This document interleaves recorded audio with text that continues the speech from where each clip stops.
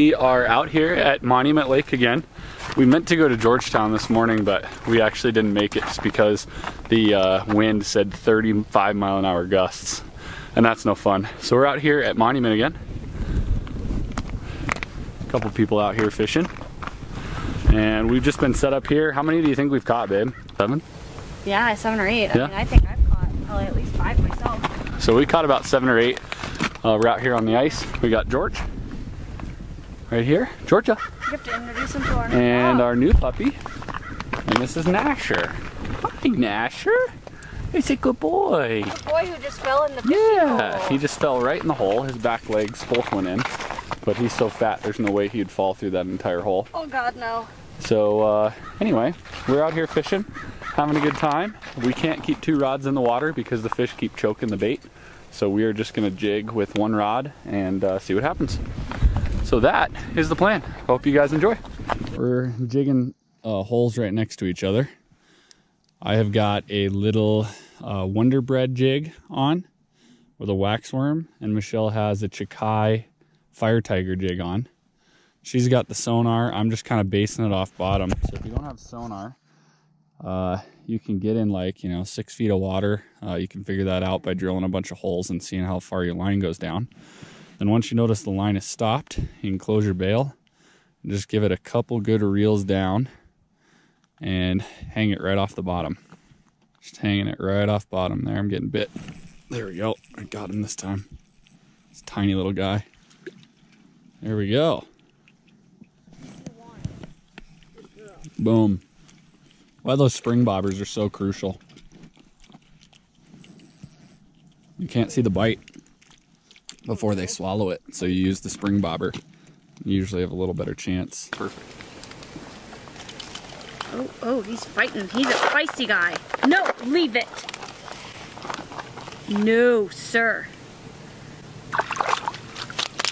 Nice fish, Michelle. Thank you. Looking all the kisses. Oh, that's so nice. That's so nice. Oh, you want to sniff? Yeah, you're not as into it, are you? He's trying it again. Got him now. Got you now, sucker. Oh, babe, he's huge. Oh, damn, that's a good fish, Michelle. Babe, he's beautiful. That's a good fish. Oh, look at his colors. I got a really nice one here. The colors on this guy. Ooh, beauty.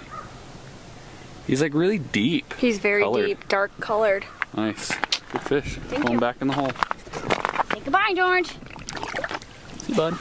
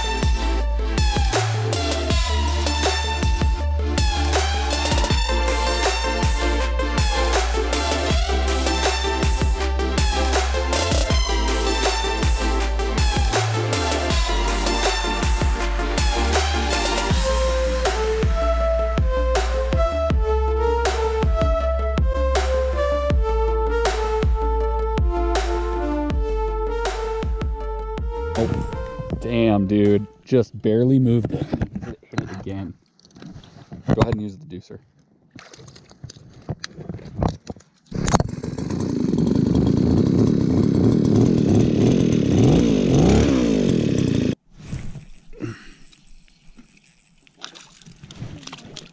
Did I get you in the mouth finally? Yes, I did.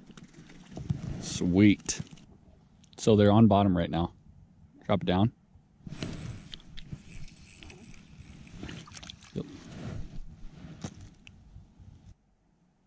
Suspect he'd hit you anytime soon. He's all over you right now.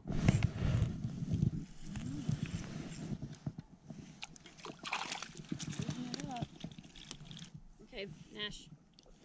All right, to show you guys the Vexilar here. Or this is what a Vexilar normally is. Um, so right here is a flasher. I really like this unit. This is the first hook. Um, the second one's kind of a, a crappier unit for the four inch. Um, but this one has maps, it has color screen, and it's got split screen so you can do flasher. Oh my God, dog, stop.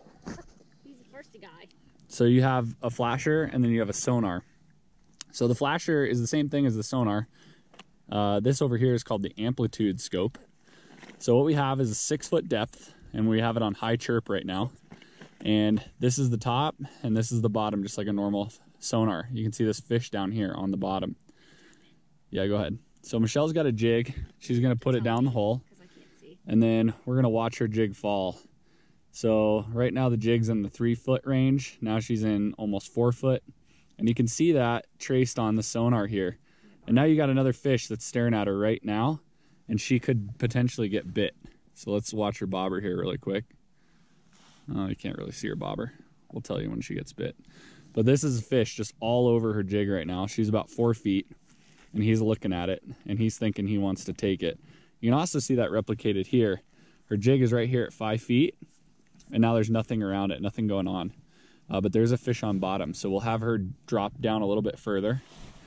And now she's about five and a half feet. She needs another half an inch or half a foot. So we just pull out a little bit of, and now she's on bottom, and now that fish on bottom is looking right at her. You can tell because it's a big red mark, and she'll probably get bit here really soon. 'Cause that fish is all over her jig right now, just checking it out. He's not moving out of the screen, which means that he's looking at it. And you can see all the activity up here on the flasher. That's her jig, and the red is the fish looking at it. And right now he's biting it, Got it. and there she goes.